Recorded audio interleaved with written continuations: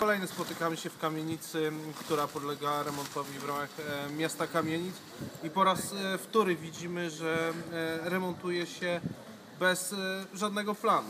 Nie remontujmy w ten sposób, nie remontujmy bez planu. Tutaj mieszkańcy po pierwsze podnoszą kwestie związane z tym, że po raz kolejny nowe okna wymieniono na nowe okna. Państwo mieli nowe okna, przyszli ludzie, którzy wymienili je na nowe. E, Ja przypominam miejskim urzędnikom, że mają do czynienia z budżetem wszystkich łodzi. E, Kolejna sprawa to e, sprawa tych dwóch oficyn. Otóż e, mieszkańcy, którzy mieszkają w prawych oficynach, zostali w tych oficynach, natomiast z lewej strony wysiedlono mieszkańców. Państwu, którzy tutaj zostali, nikt nie zaproponował takiej możliwości, nie mieli możliwości, kiedy wyprowadzić się na czas remontów.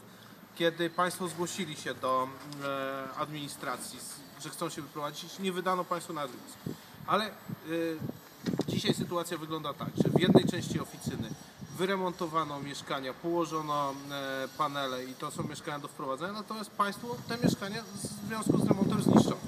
Ale za chwilę Urząd Miasta będzie proponował takie same stawki jednym i drugim.